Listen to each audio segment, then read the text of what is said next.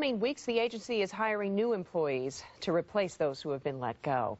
It is 8.05 right now. All this week, world leaders have been attending the UN Conference on HIV and AIDS in New York. Congressman Jim McDermott is also there. He, in fact, is the founder and co-chair of the Congressional HIV AIDS Caucus. And joining us live via Skype is Congressman McDermott. Good morning, Congressman. Thanks for being with us. Good morning. How are you? I'm good, thank you. The UN Chief Coordinator for AIDS came out earlier this week, and, and he says that he expects to have a cure for AIDS in the next couple of years. What can you tell us about that? Is that a realistic goal to you? Well, 10 years ago, we would have said it was an impossible thing to promise. But in fact, what we've had uh, in the last 10 years has been a remarkable move forward in terms of drugs to treat people who are living with AIDS Plus, the vaccine process has gotten much more advanced than it was.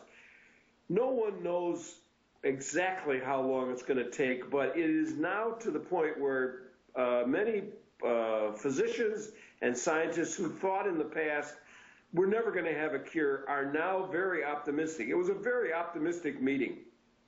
So with that in mind, I mean, is there is there a concern people who have supported the cause now that there's been so much progress made might sort of back away, at least from contributing to the effort to find a cure? You put your finger right on the reason why this meeting happened.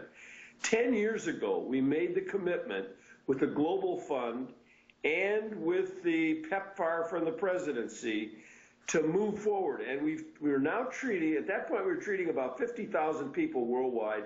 We now have 6 million under treatment, but there are still 10 million more.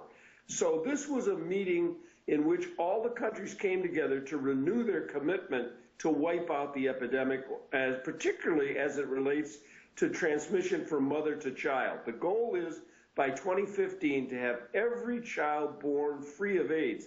President Clinton, who's being shown on your uh, screen right now, made that plea that we could wipe out AIDS from, so we'd have no more AIDS babies in the world. And where does Seattle rank in, in the number of AIDS cases? I'm sorry? Where does Seattle rank in the number of AIDS cases? Seattle uh, at one time was very high, but because of our ability to treat, we have gotten to the point where we are now 24th in cities over 100,000 in the United States. We are way down in the list because we have a very effective plan. We've got uh, needle exchange programs. We've got a number of things in place that are reducing the likelihood of the transmission of AIDS. So Seattle's in, in one of the better positions in the United States. Congressman Jim McDermott, thank you so much. It's exciting to hear how much progress was made. We appreciate your time this morning. We, thank you. Bye -bye. Next, Zach Lystedt.